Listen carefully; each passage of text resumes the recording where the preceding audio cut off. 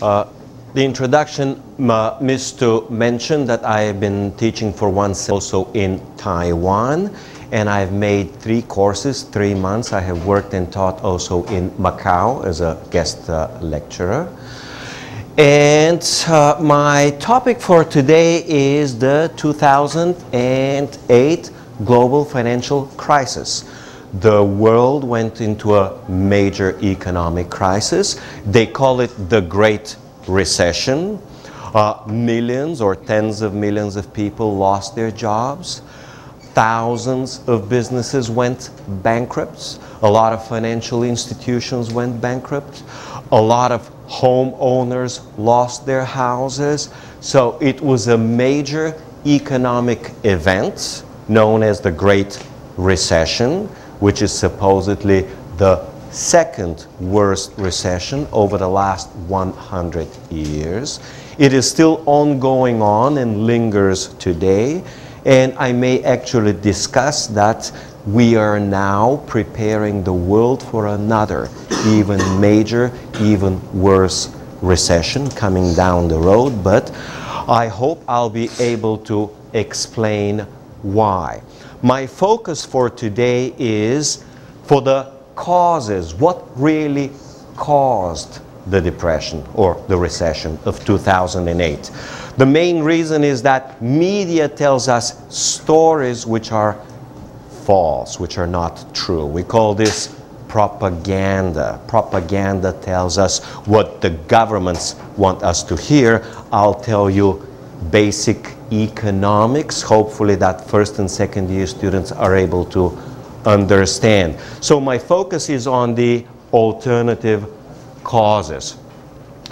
And a short overview of what I'll do today is give you some background information. I did a little bit. Tell you about the root causes, which are very easy to understand. And then we need to look at the fundamental causes. Later on, we discuss the topic of who is to blame, whose fault it is. Someone is at fault.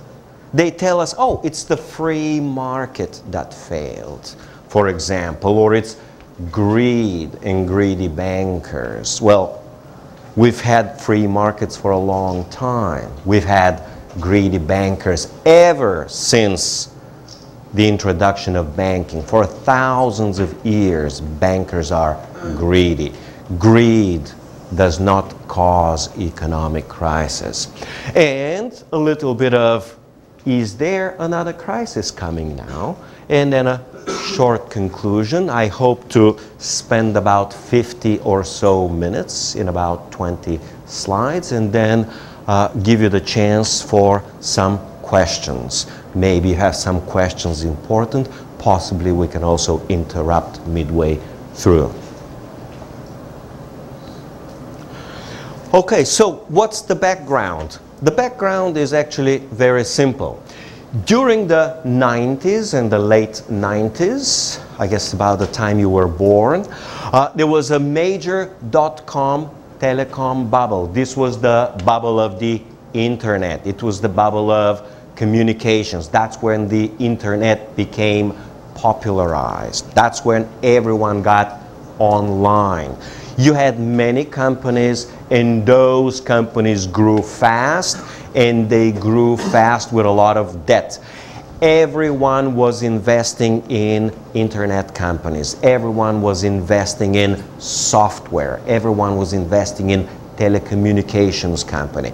It was a huge boom that grew into a major bubble. A bubble simply means that the sector is much, much larger than the economy needs. And a bubble means that eventually, when it bursts, it becomes a major crisis. It has the power to collapse the whole economy, to collapse the banking system, to collapse most of the economy to the point where most people would lose their jobs. So, as the bubble burst, the US government made the decision instead of taking the consequences to institute a policy that will mitigate, meaning make the problem easier by creating a much bigger, much worse problem. So, as the bubble burst, the recession of 2001 and 2002 came. It was supposed to be a horrible recession, but the US government intervened by printing a lot of money. We call this easy monetary policy. It happens by lowering interest rates extremely low. Everybody borrows. In other words, the economy runs on borrowing and debt. And the biggest borrower was the US government. So the government borrowed, consumers borrowed, businesses and corporations borrowed, everybody borrowed, and everyone was getting in debt fast. So that's the Fed response. Lower interest rate, and the result was the lowest interest rates in US history. Now, even later, I'm making an interjection, is we have the lowest interest rates of recorded history. Over the last 2,000 years, we have the lowest interest rates in recorded history. This, we are told, is something good, but the reality is that this has terrible consequences. So, the result was massive borrowing and massive real estate bubble. Everyone was borrowing money, everyone was investing in real estate. The US economy built a giant real estate bubble. And so did Europe almost every European country had a giant real estate bubble. And so did most of Asia, except for Japan. Uh, Hong Kong, a huge bubble. Singapore, a huge bubble. Thailand, big bubble. Pretty much most of the world grew a major real estate bubble out of the ultra low interest rates in the United States and therefore low interest rates all over the world.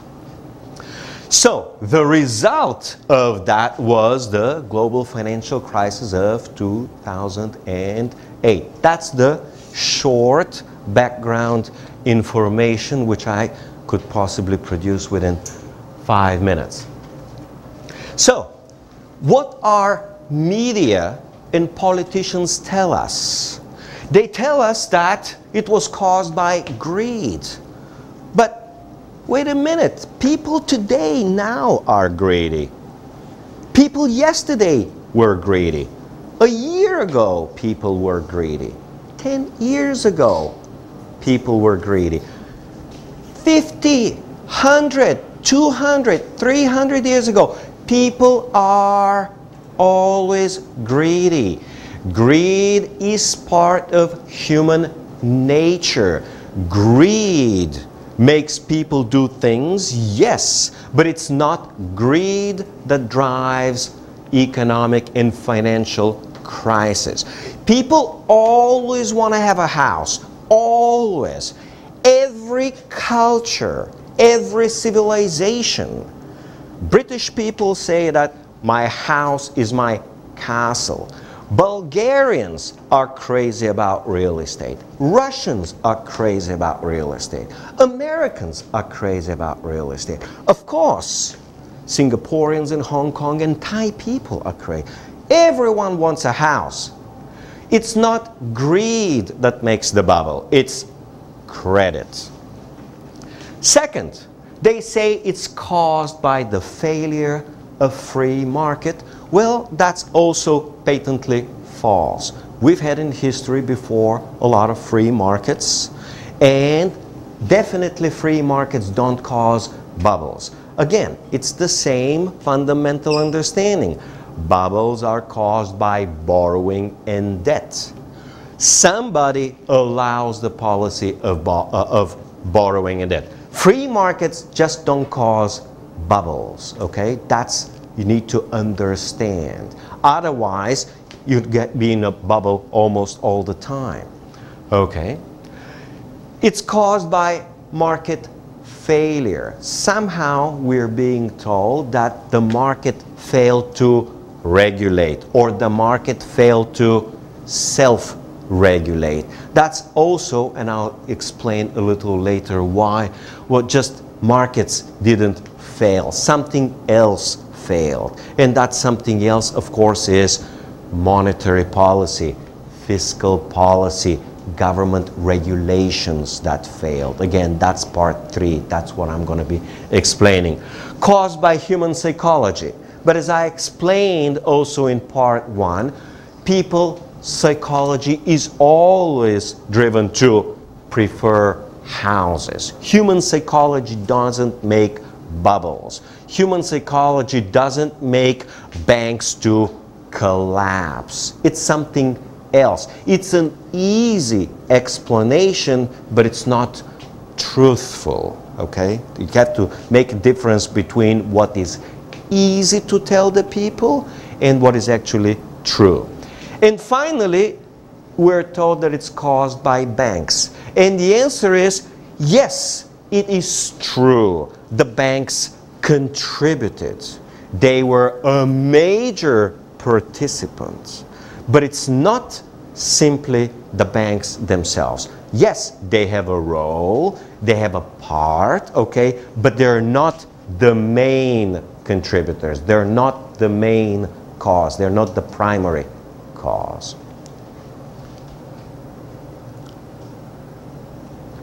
So, what usually causes bubbles, we study in economics, in financial economics, there's a subject, and the more you study bubbles throughout history, we got recorded bubbles even for 2,000 years. It's not a new phenomenon. It's basically very simple. It's credit expansion. Credit expansion means that banks provide more credit than the economy needs. A different way of saying is that banks provide credit at a faster rate than the economy. The economy grows at 15%, but banks grow credit at let's sorry, the economy grows at 5% and banks grow credit at 15%. Or let's take the example today of China. China or Chinese economy supposedly grows at 10%, but banks grow credit at 20%. The result is the economy grows slowly and the banking and the credit system grows fast. At one point, the banking financial system becomes too big and the economy too small. That's how you get bubbles. So that's the first part. The first part is credit. And the second part is called financial speculation. People borrow to buy real estate and that drives prices. So financial speculation is you buy something to profit. You buy something with the expectation that the price will rise. As a result, of course, as people buy, prices do rise. And as prices rise, people decide and borrow even more money. I see this every day now in Thailand, and maybe you see this here in Korea too. As housing prices go higher and higher, people have to borrow more to buy. And as they borrow more to buy, they buy, they speculate, it goes to higher prices. And again, higher prices, more borrowing, higher prices. More borrowing, higher prices. This is a vicious circle and this is the bubble. As long as the credit flows, in other words, as long as people can and borrow, you will get the bubble. So this is the basics of bubble. It's actually amazingly simple. But it is very seductive. Politicians love it. And bankers love it. Bankers make a lot of money while they are lending. People feel good. It's like a drinking party. Everybody's having good alcohol, everybody's having a good time. The problem is when it's over, it feels bad, it feels terrible. So that's the background. We use the words credit is the same as debt is the same as leverage. The economic explanation is very simple. You could use credit productively or you can use credit non-productively. Productive credit makes phones and shirts and computers and cameras, makes real things for consumption. Rice, food, okay? And non-productive credit is credit used for consumption. Non-productive credit or consumption credit is you borrow money to buy a car. You borrow money to buy a house. You borrow money to buy a telephone. Consumption credit would even be considered you borrow money to study. You borrow money to go on vacation. So all of this is consumption credit. You have to understand that consumption credit is not productive. And the other non-productive credit is speculative credit. This is credit. You borrow money and you invest in gold hoping the price of gold to go up and you make a profit. You borrow money and you invest in stocks, hoping stocks go up and make profit. Or you borrow money and invest in a house, hoping that the house, real estate prices will go up. This is speculative credit. So, when you see the banking system provide credit, the question is, do you provide the credit for productive purposes? build ships, build cars, or for consumption purposes. Okay? Actually, buy the car. There's a big difference whether the lending is for the consumer to buy the car or for the manufacturer to build a car. If this share is relatively large, if the non-productive credit share is large, you are doomed to a major economic crisis. If the share is mostly for productive credit, you will mostly have a good, healthy economic growth. A different way of saying is that productive credit grows healthy economy and non-productive credit grows a sick economy. A lot of non-productive credit makes the economy sick. So, what were then the real causes? Real causes are very simple. The central bank in the United States, the Federal Reserve and other central banks around the world kept interest rates extremely low, ultra low. They kept interest rates at 0.25, quarter of a percent. Normal interest rates will be 5 to 8%. So they kept interest rates 10 times lower, 20 times lower than normal. When you keep interest rates 20 times lower, interest rate is the cost of money interest rate is low interest rate means money is cheap. A lot of people will borrow. If the cost is 10 times more, sorry, lower, people will be borrowing a lot and use it for consumption, speculation, and everything else. So that's very simple. And the second part is that the lower interest rates actually fueled non-productive credit. That's where the problem is. And non-productive credit eventually becomes bad credit.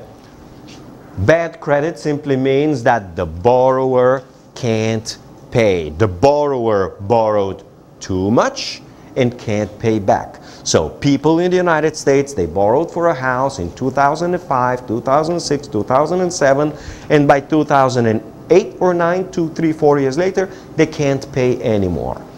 When borrowers can't pay, the bank is in trouble. The bank goes bankrupt. So, the real causes are the low interest rates, most of it flowing to real estate and fuel the real estate bubble.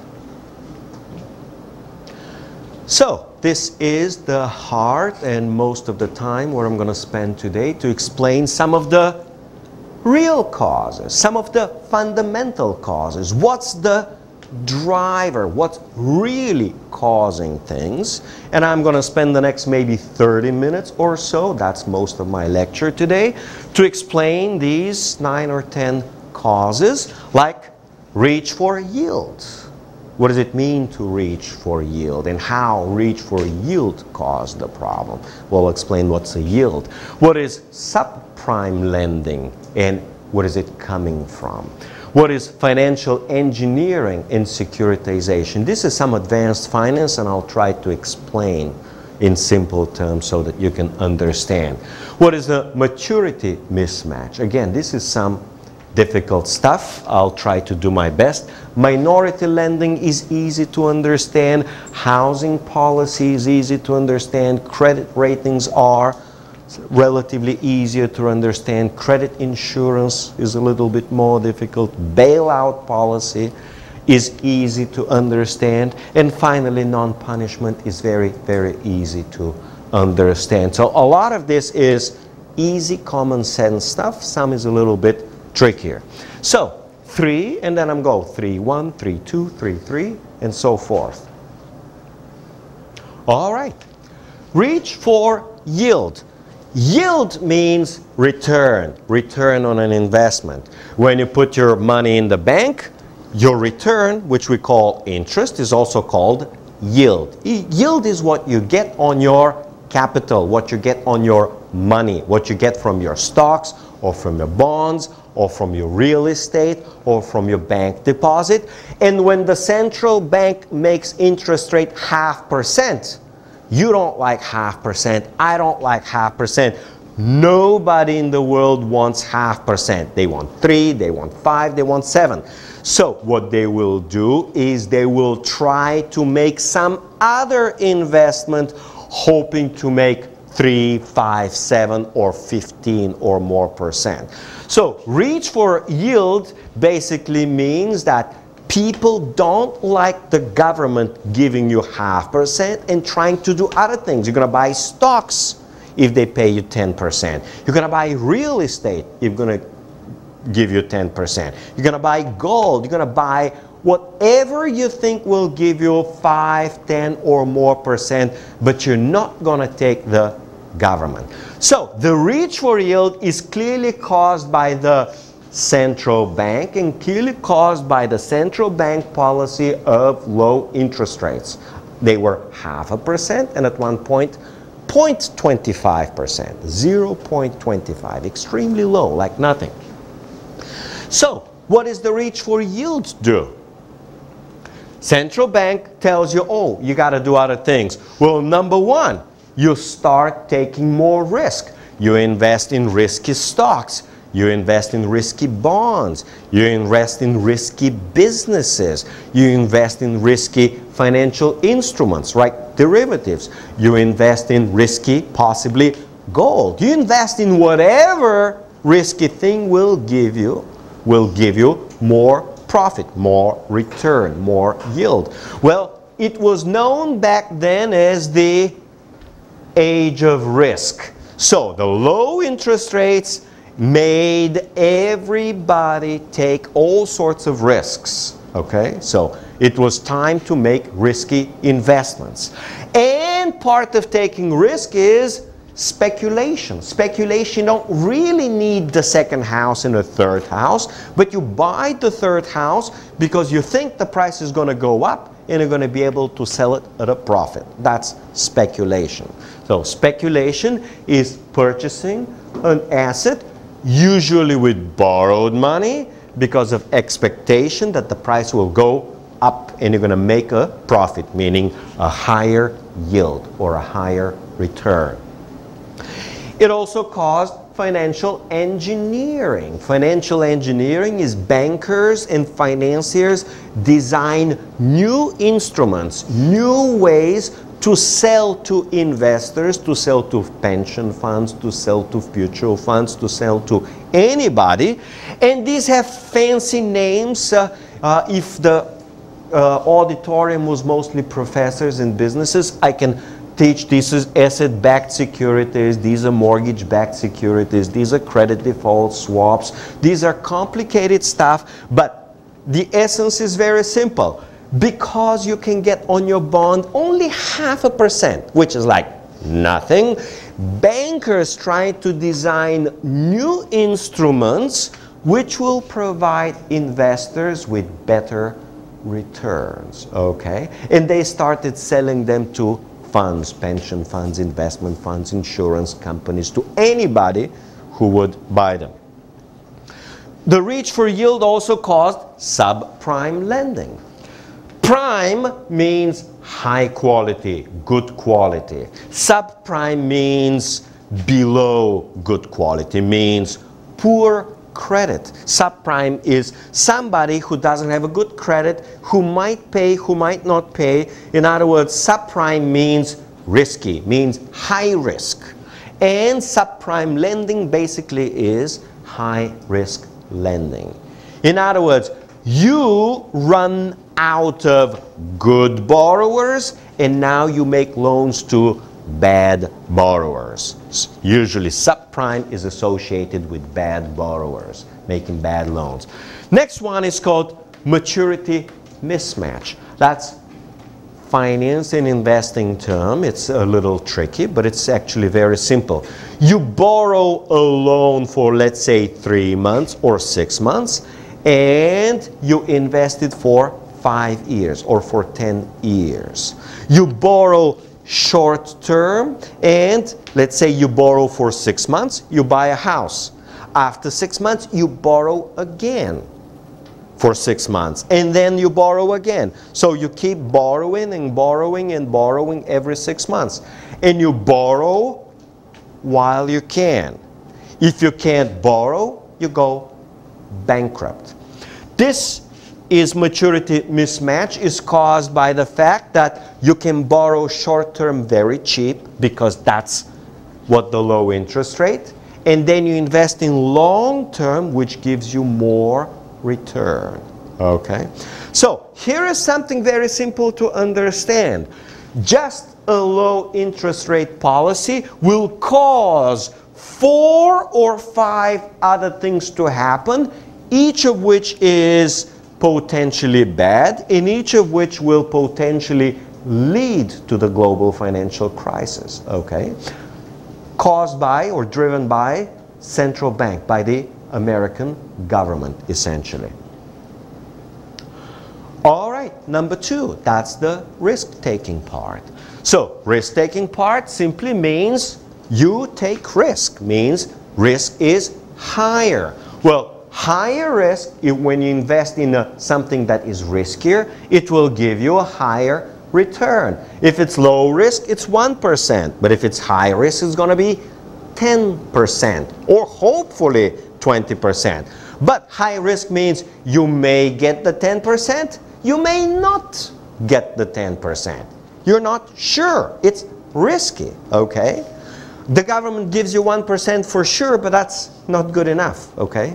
So you take more risk, hoping more risk for more return. I already explained the low interest rate by the government created for five years the age of risk. When bankers talk between themselves, and it's even in the media, it's everywhere. If you watch from 10 years ago, people say risk, risk, risk. You gotta take risk. The only way to make profit is to take risk. Everything was about risk. Everyone was taking risk. Everyone understood that the only way to make money was to take risk. It created, it's called a culture of risk. Everyone was thinking about risk, and everybody was thinking that you gotta take more risk to make more profits. Part of the risk was, of course, subprime lending. And subprime lending, I'll explain, comes in a number of different forms. One of them is just somebody's got a good job but got sick or whatever the problem was. He can't pay, he's a higher risk. Or somebody already has a house loan, has a medical loan, has a car loan, has a few other loans. He's already deep in debt, but you give him one more loan, maybe to buy a telephone, maybe to buy a laptop. Back in the old days, laptops were expensive. People will borrow a good amount of money to buy a laptop, okay? So, subprime lending was more profitable. In businesses, bankers, everyone is driven by profit. If you're a bank and you want to make more profit, you will be lending to a lot of bad borrowers, hoping they will repay. Also, the government's interest rate of 0.25%, this is one quarter of 1% is like free. It's like free money. Bankers saw the money as free, and when they were getting the free money, they did all sorts of crazy thing with it. They'd lend to anybody, anybody who wanted to loan for any kind of stupid stuff. They just borrowed the money because the bankers were getting it free. So the more you lend, the more you make profit. And again, one of the other problems, the bankers took the money.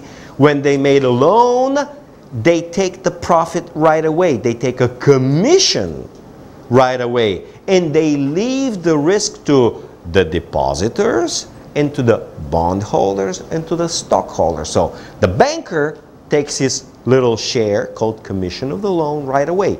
The banker profits immediately. And if something goes bad three or ten years down the road, they don't worry that far away.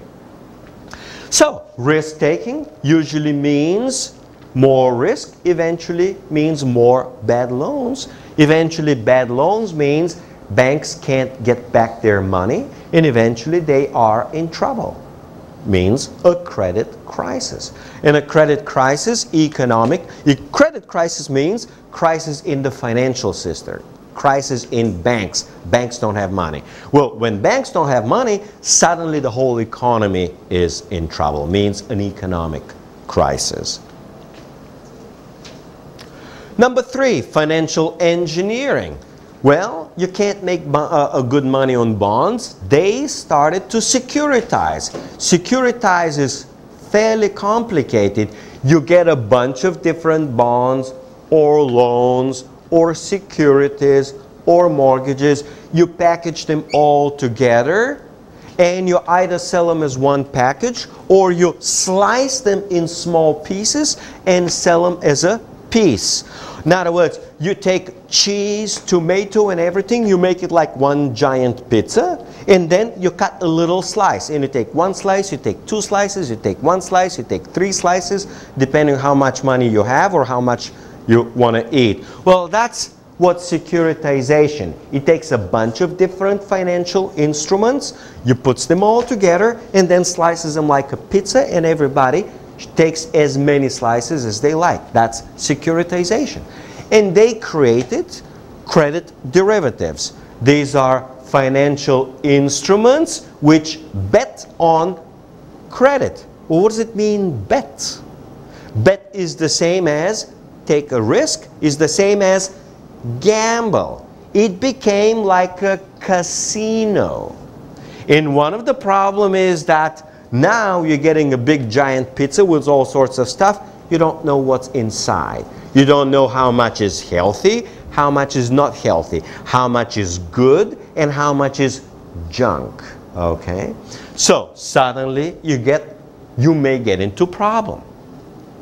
So this securitization idea where I take a whole bunch of loans, you package them together, slice them, and I give you one piece and you one piece and everybody a piece or two or three as much as you can, means that this, these risky loans, suddenly you begin to transfer. I give you a little piece of the risk for you and a little for you, one for you, one for you, one for you. Everybody gets a little bit of the risk.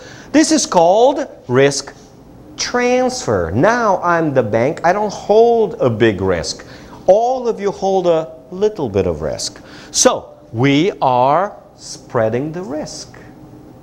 Well, it's the same thing with the pizza. If inside the pizza there is a poison, something that if you eat it will kill you, if I put it on a whole bunch of pizza and you get a little bit of that poison, suddenly you're going to get sick or poisoned. You're going to get sick or poisoned.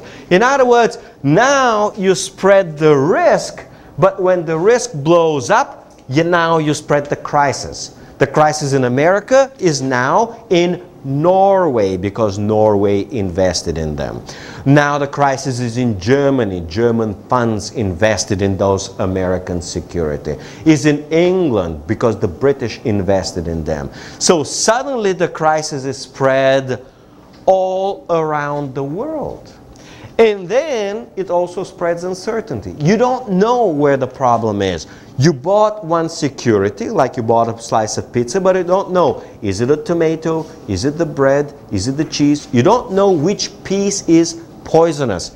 Here, you bought one security, which is made out of 100 different securities. You don't know which is the bad security. Suddenly, you got a bigger problem. You got an investment and you don't know how good it is. You don't know how bad it is. We call this uncertainty. And the risk transfer actually encourages more risk taking in a different sense. Oh, I'm the investment bank, I'm the banker, I made all of these housing loans, mortgage loans. Now I take the loans, I package them together, and I distribute them to each one of you. Now I don't have any more loans. I can make more loans again package them, and now sell them to these guys. When I sell them, again, I can take more, more mortgages and now sell them to these guys. So, what the Wall Street securitization machine did was actually make more loans, package more securities, sell them to a bunch of Japanese. Take more loans, package them, sell them to the Chinese. Maybe they sold a bunch to the Koreans too, you know. The whole world was buying them. So, securitization and credit derivatives allowed risk to be spread throughout the world, and when the crisis hit, to hit almost the whole world. Number four, maturity mismatch. Maturity means how soon you have to pay. Maturity mismatch means you borrow short, as in short term. You borrow only for three months, or borrow for six months, or borrow for one year, and then you invest long term. So you borrow money for one year from the bank and you buy a house. But of course, the house uh, you cannot pay in after one year. You got to borrow after one year again, and then after one year again, because you borrow. Can, you can borrow cheap short term. So you borrow short term and then you invest long term. The return on long term instruments is high, maybe 5, maybe 7%. You borrow short, maybe half percent, maybe 1%. So think about it. You borrow by 1%, you invest in 6%, you pocket a difference of 5%. That's a huge return from 1 to 6. 5 return. So you capture that profit and it provides incentive for everybody to borrow short. Everybody borrows short, meaning three months, and after three months, you got to borrow again and borrow again. We call this refinancing. If you can borrow again, you're okay. If you can't borrow again, you go bankrupt. We call this interest rate risk. If interest rates rise, you got to borrow again at 1%, at 1%. But what if you have to borrow at 5%? Well, you borrow at 5%. If you're getting 4 you're losing money. If you got to borrow at 10% and you're getting 5 you're losing money. So, this works only when interest rates are low. So, here's another simple explanation. They created a system during low interest rates that works only when interest rates are low. If interest rates rise, the system collapses. The whole system breaks down. So it requires continuous refinancing. It also requires every three months you borrow again, you borrow again. This ability to borrow is called liquidity. So liquidity is also required. So it requires that at every point in time you're able to borrow when you need. So now you need two things. You need interest rates to stay low. As long as interest rates stay low, you're okay. And you need liquidity, meaning ability to borrow whenever you need. Now the system becomes vulnerable. If credit stops, most of the system collapses, or if interest rates rise, most of the system collapses again. That's number four. Number five, minority lending. Minority lending, you probably don't have this here in Korea. It's probably not available in China, but in America, you got African Americans. These are people with black skin. They're called minority. You got Latinos. These are Mexicans or other people from Latin America, which are a small percentage of the people. You may have immigrants. In other words, these are people of other race, okay, of other culture, and you have to, you know, the government says, oh, we lend to blacks, oh, we're helping poor people, oh, this is good for the community. These are only nice things to say. Oh, it's required by government policy. The government forces the bank, whether like or not, oh, there's a black person, you got to lend to that black person. Doesn't matter that he is fat, that he is sick, and that he doesn't have a job. You got to lend to black people. So that's basically a government policy. Okay? And for the lenders, they say it's okay. We'll lend to that people, we're going to securitize it, we're going to, you know, sell it to the Chinese. So again, that minority lending encouraged a lot of bad lending, a lot of bad loans. And of course, the US government, like most governments in the world, has a housing policy. The government encourages houses. It's a nice if you have a family to have a house, right? Of course it's a nice. We'll just it's nice to have a BMW, right? It's a nice to have a nice phone, right? It's nice to have things. But government made it policy. And Bush literally said, it's a good thing. But we got to differentiate between what is good and what is healthy for the economy. In other words, what is good for the people may not be good for the government or for the bank and so on. So, government provided government guarantees. Okay, we're going to encourage housing. The government will guarantee certain loans to minorities and to poor people. The government provided even lower interest rates to borrow and invest in houses. Again, encouraging more lending, more housing, more borrowing. And the government reduced down payments. You don't need to pay as much. You don't have to pay anything and you can get a brand new house. Okay, hopefully you're going to be able to pay. So, it finances risky borrowers and bad debt. Next one was credit rating agencies and what the credit rating agency was the following. You got the pizza slice and the credit rating agency comes from the government says your slice is healthy, you can eat it. And then it puts a stamp, your slice is healthy, you can eat it. So what the government credit rating agency do is they stamp approval. They stamp how good the credit is.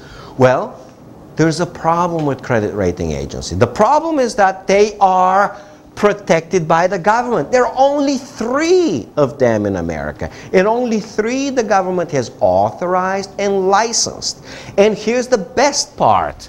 No matter how bad your policy is, no matter how bad your stamp is, no matter how terrible you perform, you're one of the three. You're guaranteed by the government that no matter how terrible you are, you're always going to make profits.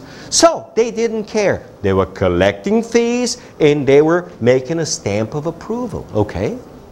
And there was one other problem. The bankers paid to the credit rating agency. In other words, the credit rating agency was getting money for good grades. This is exactly the same as if students paid the teacher for the grade. If every student paid money directly to the teacher for their grade, your grade will be only A because you're not going to pay money for any other grade. So the system was protected and distorted by the government, and the system was corrupt at the core. It was a badly designed system that was designed by required by and protected by the government.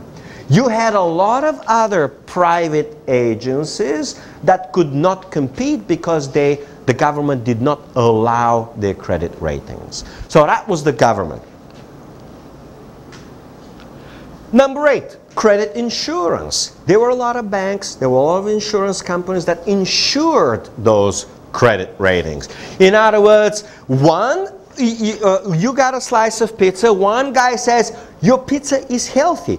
But another business, another bank says, in case you get poisoned or stomachache, I will pay your hospital bill.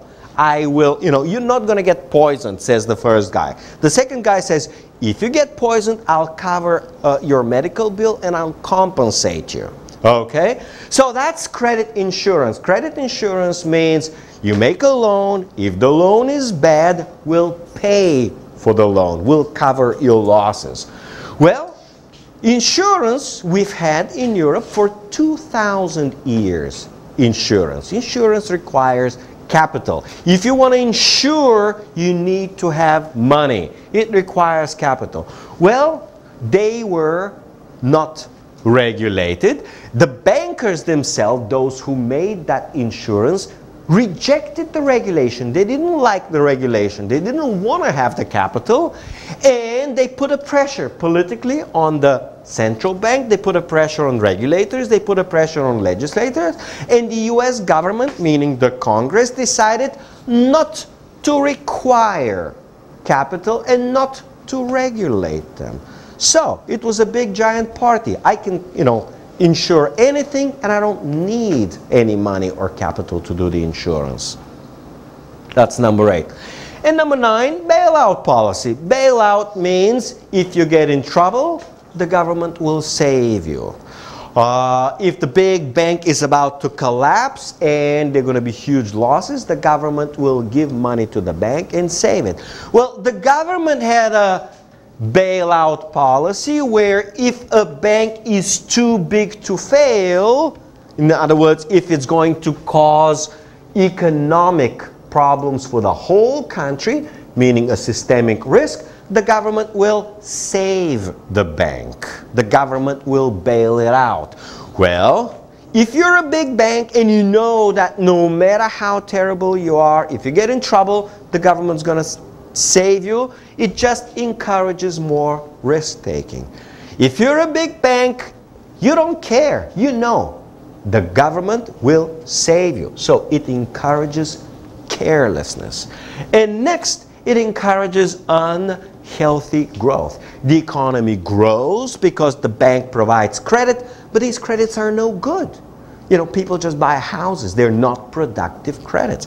So it actually encourages unhealthy growth. In other words, the economy grows bigger and fatter and sicker. And it's only a matter of time before we get a heart attack.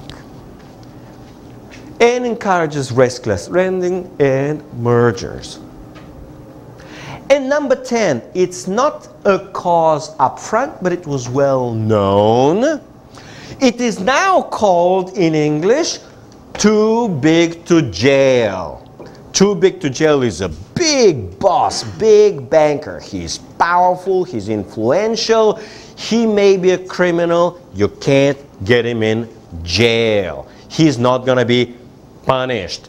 So, it's 2015 now, seven years later, we know for sure now Back then in 2008, we didn't know. But now we know seven years later, nobody was prosecuted for real. I mean, they made some investigations. Nobody went to jail. No clawback. Clawback means, hey, you ran this bank, the bank went bankrupt, Give the money back. Give your bonuses. Give your salary. They didn't take money from the bankers. So bankers know I'm not going to lose any money. I can go bankrupt the whole bank. I'm not going to go in jail. Even if I make fraud, okay, I could be a criminal. It's okay. I know I'm not going to get in trouble because I'm big, I'm powerful, okay? I'm well connected, I'm rich, I'm mega rich. I can, I'm a billionaire. I can buy the whole court, okay? So, the criminals are basically above the law, and basically, bankers say in finance that crime pays. It pays, it's profitable for a crime. So, in summary, these are 10 fundamental reasons that drove more credit, that drove the economy. So, for these 10 reasons, simple question is, who's responsible? Whose fault it is? Number one, reach for yield. It's monetary policy. This is the policy by the Federal Reserve, in other words, by the US government monetary policy. Number two, risk taking is also driven and caused by monetary policy, in other words, by the US government. Number three, financial engineering. It was done by the bankers, but it was driven by or caused by the government. The maturity mismatch, again, same thing. Minority lending, that was government policy. And housing policy was again a government policy. Credit rating agencies were protected by the government, although investors had a role. Investors should have known not to trust these credit rating agencies. They should have been smart enough. They were not enough smart. But the cause was by the government.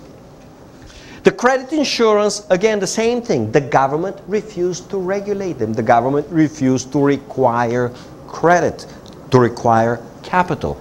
Bailout policy, of course, was a government uh, policy that was established in 1997 and even before 98 and even before that.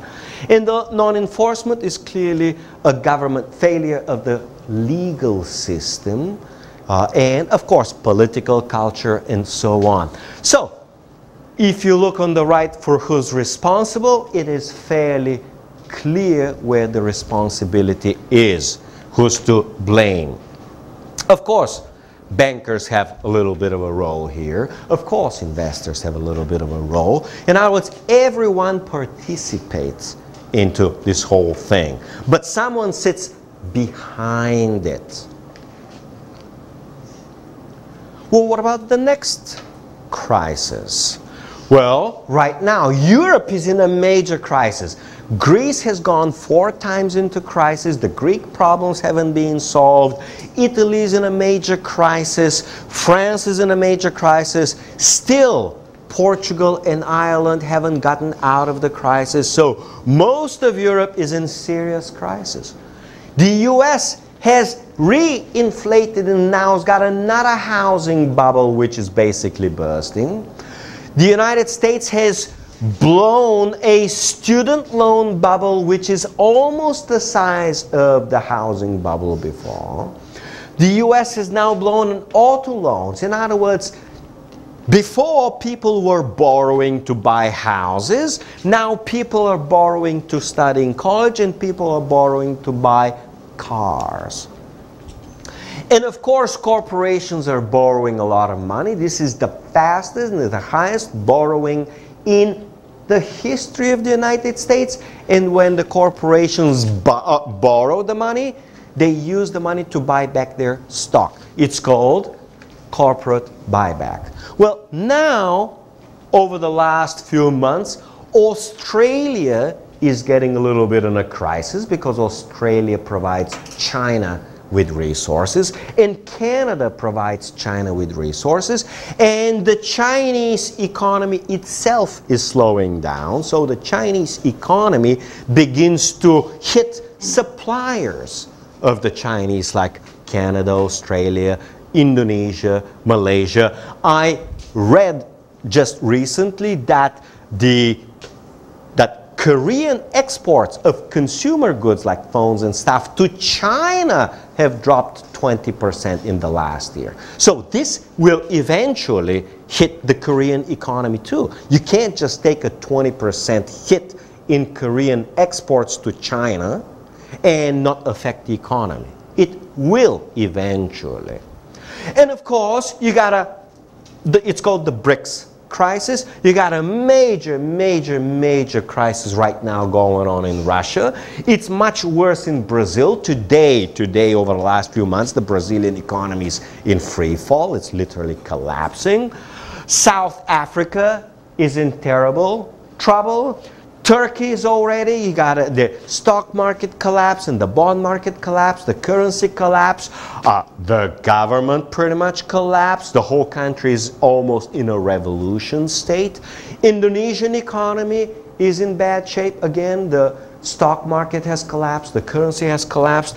Oh, okay, I just said about, I forgot to mention, Malaysia is already in serious trouble. Again, it hasn't completely collapsed, but it can see the economy going down, down, and down. Indonesia, again, I'm repeating. The Thai economy is fairly vulnerable. So as you are seeing today, now, meaning the 2015, uh, big chunks of the world economies are going steadily down, okay? And it's just a matter of which one leads and which one follows. So, what's the conclusion? Another minute or two. Well, we're having now the lowest interest rates in history. We have in Europe well over 2,000 years of recorded interest rate history, and we have a good indication of the 5,000 year history of interest rates. Today, now we know that interest rates are lowest for our 5,000 year of history. Debt is going everywhere up, up, and up, accelerating means that debt is growing much faster than the economies, including Japan and China and Australia. And you name a country, its debt is growing a lot faster, meaning preparing for the next crisis. Governments so far have not fixed the problem. The policy is known as extend and pretend. Whatever the problem is, they just make sure that it doesn't. If you got a big red spot here, just put a makeup. You don't cure the disease. You just put a little white cream and whatever, and it doesn't look bad, okay? Uh, it, we also say that when you cut yourself deep, they put a little band-aid, okay? But it's not a solution. The government did not address the problem of debt. The government did not reduce the borrowing. All the causes that were there are here, present, now. We say the government did not make any structural, no real changes were made. And none of the causes that caused the previous crisis has been removed. Another way of saying all the causes that you saw, they are operational now today. Okay? And you got bubbles everywhere. Thailand is a crazy bubble. I've been living there for two years. I lived for four or five months in Macau. Macau is a crazy real estate bubble. You cannot imagine all the malls and all the Rolex watches. They have like, it's a tiny little country. 400 shops selling Rolex watches in Macau. And we already have right now crisis in over 10 countries. So, the overall conclusion that I would make based on studying this field over 10 years is that we have a new global financial and economic crisis partly on the way and coming soon. Well, thank you.